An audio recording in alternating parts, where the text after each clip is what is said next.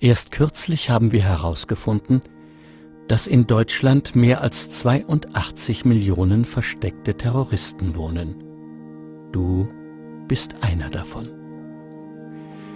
Deswegen überwachen und speichern wir ab jetzt für sechs Monate alle deine Aktivitäten. Zum Beispiel, wen du anrufst und wann. Wann du dein Handy benutzt und wo wann und wo du dich ins Internet einloggst und welche Seiten du besuchst, an wen du E-Mails schreibst und wieso. Und weil du Terrorist bist, darf das Bundeskriminalamt von nun an auch deinen Computer überwachen. Wir kennen deine Passwörter, schauen uns deine Urlaubsbilder an, verfolgen, mit wem du chattest oder stöbern in deinen persönlichen Dokumenten.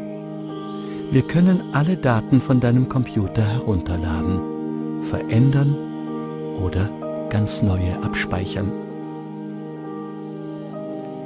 Wir hatten in Deutschland noch nie einen international geplanten Terroranschlag.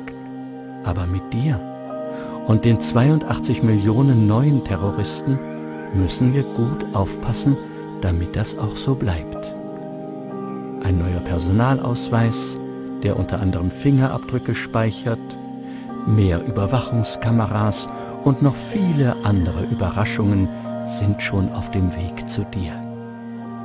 Denn du bist Terrorist.